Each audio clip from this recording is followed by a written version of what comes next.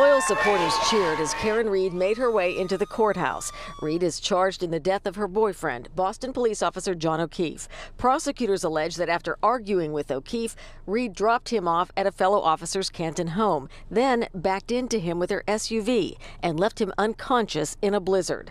Today, her attorneys asked the judge to drop Read's $80,000 bail, saying she needs that money to clear her name, and she will. There will be no conviction because the evidence establishes her innocence.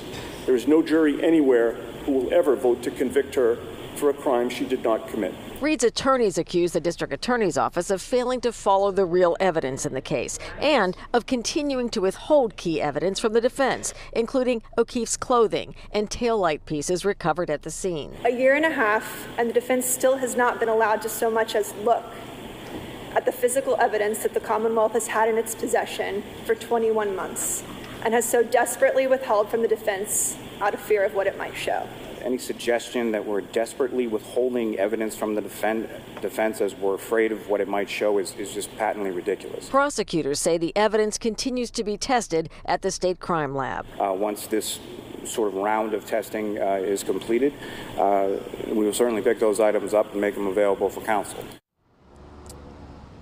Now, the prosecution is asking that the bail remain intact. The judge has taken that matter under advisement.